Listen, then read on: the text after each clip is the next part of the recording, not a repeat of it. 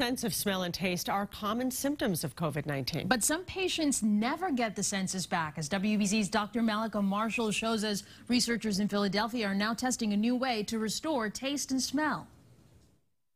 Nancy D'Amato is finally able to enjoy eating again. She lost her ability to taste and smell after a bout with COVID-19 last February. It was really, really um, jarring. I mean, I, and I lost it like instantaneously. It's often one of the first symptoms of COVID that's usually temporary. But for some patients like D'Amato, the inability to taste and smell lasts and becomes a COVID 19 long haul syndrome. It was life changing that I, I couldn't enjoy any food. I didn't want to um, eat. It was so depressing. With limited treatment options, D'Amato found an intriguing research project at Jefferson Health. I really feel that it's helping me. The Jefferson research is testing platelet rich plasma, or PRP, from the patient's own blood to restore smell. It's been used to heal injuries and regrow hair.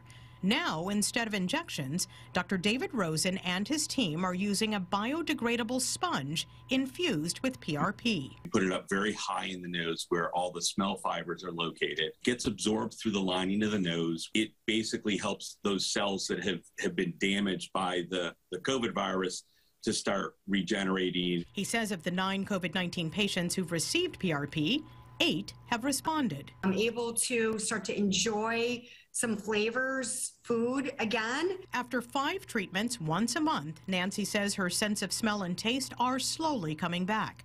She's able to enjoy her perfume again and is back to wine tastings. Dr. Rosen says PRP therapy has helped other patients who have trouble with taste and smell. He hopes to get a grant to expand the research in COVID-19 patients. But to be able to smell perfume and taste wine again, I'm sure is a welcome change. Yeah. I know. And it's so interesting how they're using your own body to try to find a cure. Yeah. That's right. Incredible. It's because she's right. It's got to be depressing. And over the long haul, hopefully, all of these patients will be able to get it back. Dr. Mel